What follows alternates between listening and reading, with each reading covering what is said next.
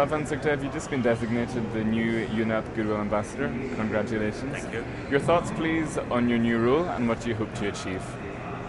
Well, I've spent um, two and a half years at the UNEP, and uh, it's an organization that has a huge mandate, but it's a small organization. So I, I, really see my role as adding to its voice, adding to the messaging and the communications of some of the very important uh, studies and results that have been achieved by the organization.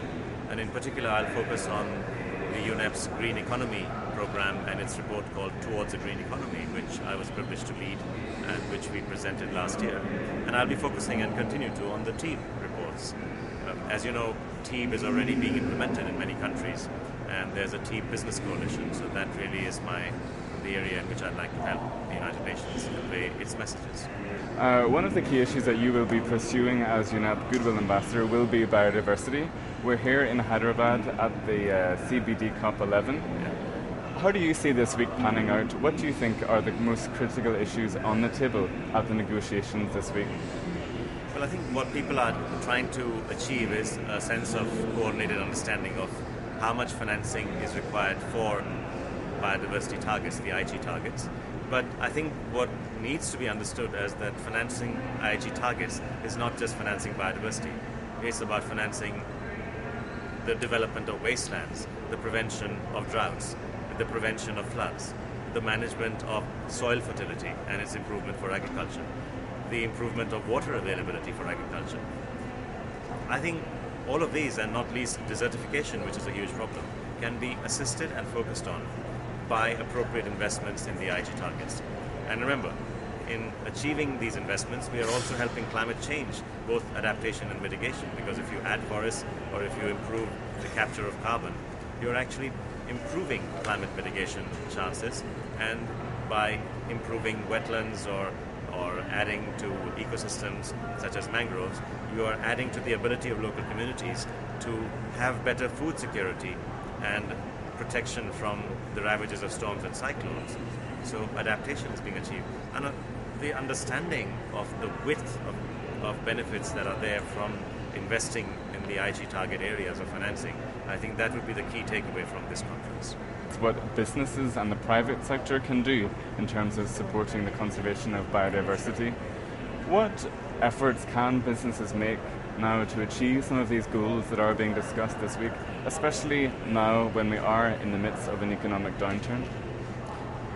Business today is two thirds of the economy and jobs. It's a huge contributor to the management of fiscal deficits through its taxes. So, business is basically the heart and center of the economy.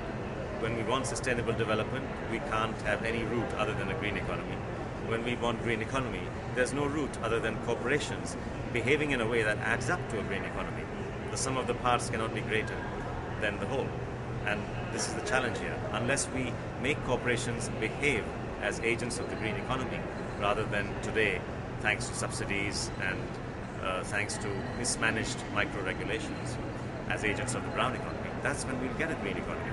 So I'm focusing on what the corporation can do. Number one, measure and report its externalities on natural capital.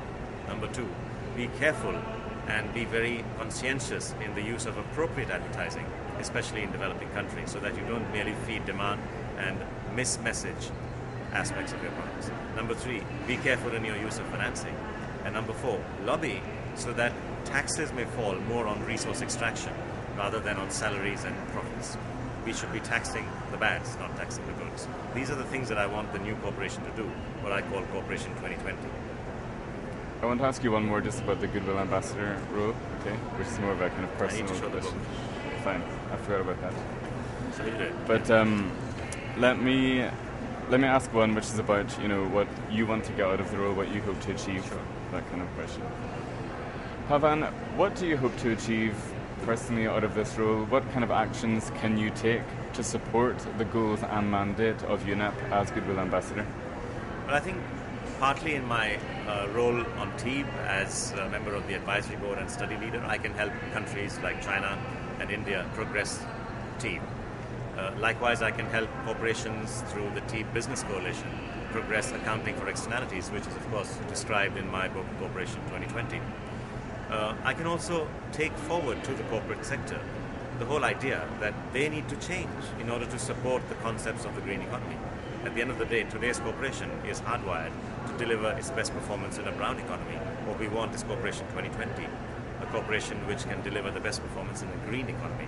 So I think these are areas in which I hope that my agenda for the future is actually completely aligned with the agenda of the United Nations Environment Programme. I think that's good. Yeah, that's everything. Okay. Okay. So be sending that off today.